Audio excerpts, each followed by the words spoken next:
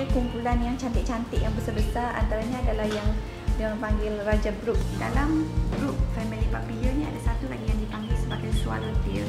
Swallowtail ni butterfly juga tapi dia cantik dia dapat gelaran swallowtail sebab dia ada ekor. Itu common kita panggil common name nama umum lah untuk kumpulan dalam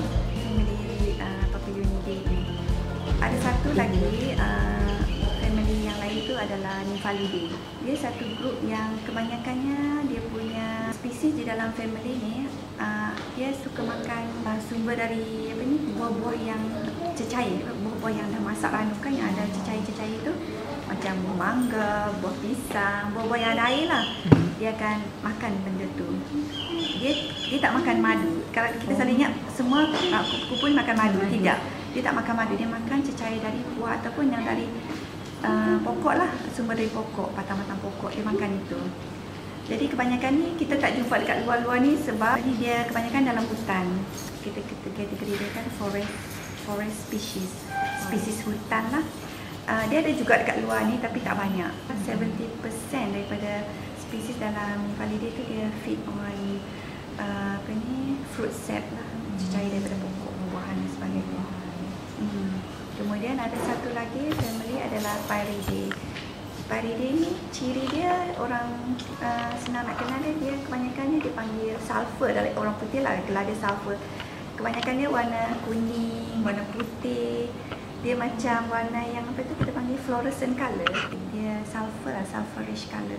Kebanyakan yang warna macam tu diletakkan dalam family Pyridae. Hmm. Jadi family ni dia kebanyakannya dia ciri-ciri dia dia terbang lemah lembut sangat fragile. Fragile ni maksud dia mudah mudah koyak lah kalau kita salah pegang dia dia akan koyak saja uh, okay, family keempat adalah Lysinidae Lysinidae ni orang putih gelar dia blue.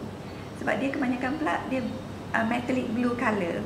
Hmm. cantik uh, lepas tu dia punya ciri pula dia saiz dia tak besar uh, sederhana hingga kecil dan terbang pantas kebanyakan diletakkan dalam family uh, Lysinidae ni. Kemudian uh, family terakhir adalah Hesperidae. Hesperidae ni dia unik. Dia adalah perantaraan di antara ciri moth, ciri rama-rama dengan ciri butterfly. Kalau kita tengok badan dia bentuk sayap dia semua macam moth, macam butterfly. Cuma membezakannya ada satu lah karakter pada dia punya antena dia yang meletakkan dia dalam kumpulan panggil kalau um, club antenna. Kalau kalau rama-rama yang moss malam tu dia sama ada dia macam jarum ataupun dia ada ada struktur hmm. macam insang ataupun dia ada corak-corak lah dekat dia punya antena dia yang dekat kepala dia ni. Tapi bagi butterfly dia tak ada corak, dia tak ada apa, dia cuma ada antena dan ada satu structure yang macam kita panggil membengkak di hujung dia punya antena dia kita panggil club adalah antena uh, Hesperidae ni dia ada antena macam ni dia diletakkan di dalam uh, kumpulan kupu-kupu bukan uh, moth bukan ramah. Tapi kalau kita tengok yang lain dia memang macam moth hmm. jadi ini unik yang Hesperidae ni unik dia is in in between.